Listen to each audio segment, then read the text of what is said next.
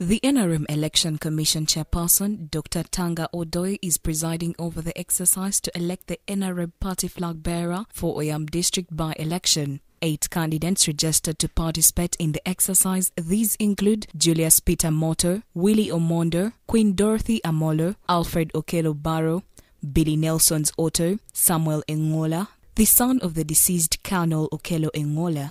Okay? Yes. He's the anchor of diplomacy. Our senior. Okay. Some aspirants are accusing their colleagues of ferrying voters to cities of Gulu and Lira. Aspirants have petitioned Dr. Tanga Odoi about the issue. According to Alfred Okello Obaro, if the issue is not sorted, some candidates might join the main race as independents. We've written a petition to the uh, chairman NRM Electoral Commission to condemn this and nullify this uh, aspirant from participating.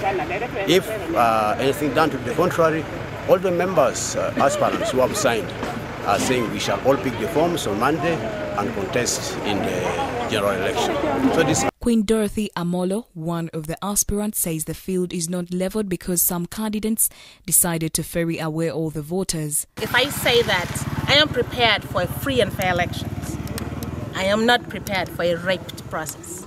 Dr. Tanga Odoi, the NRM Election Commission chairperson, said yesterday, together with security chiefs, they met all the candidates and talked to them. He confirmed that there are some candidates who ferried away voters and hid them in hotels of Lira and Gulu cities. Now, I did due diligence.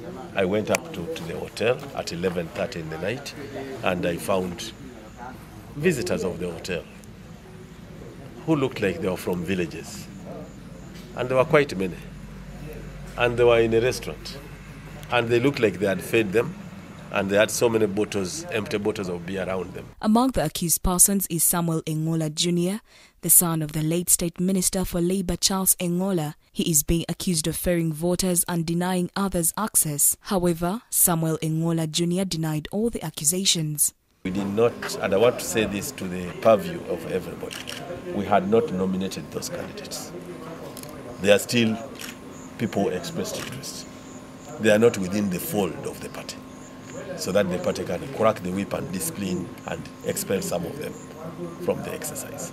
We had not done that. The legal minds tell us what should have followed would have been the due process of nomination, and uh, after nomination, then we have complete control over them.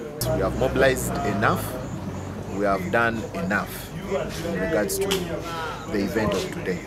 So we have no fear or remorse. Yeah, well, if we take if we take the flag today, we will be better politicians.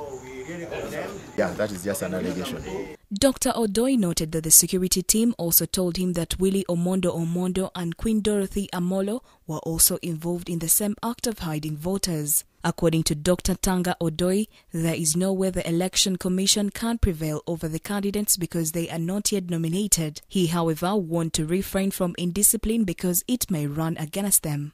Reports compiled by Hudson Apunyi for the news.